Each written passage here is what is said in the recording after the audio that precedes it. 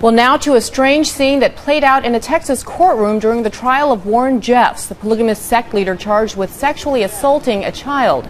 This week, Jeffs fired his defense team and said very little until yesterday when he jumped up and objected for nearly an hour. ABC's Dan Kloeffler is here with the story. A lot of theatrics there. Yeah, there absolutely was. A lot of people watching this case very closely because despite the magnitude of these charges, Warren Jeffs is going it alone without lawyers. And right from the start of this trial, he has shown a combative, almost condescending approach to defend his name and his actions.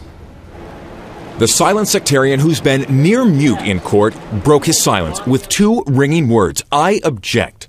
As an FBI agent was about to list names of people in polygamous Warren Jeffs' compound, Jeffs suddenly stood and began to deliver his objections for almost an hour, seemingly thinking that he was in a pulpit, not a courtroom.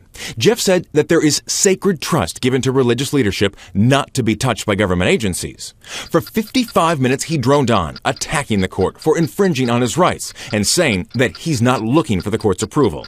But his near hour sermon came to an end when the judge told him, time's up. You have to look at Warren Jeffs like you look at many people that create cults, become the leader of cults, like a David Koresh, like a Jim Jones they aspire to those positions because they believe they're the Messiah. God's talking to you and God says to do something and it comes out of Warren's mouth. I mean, you do it. There's no ifs, ands, or buts about it. You do it. Are you ready for trial, sir?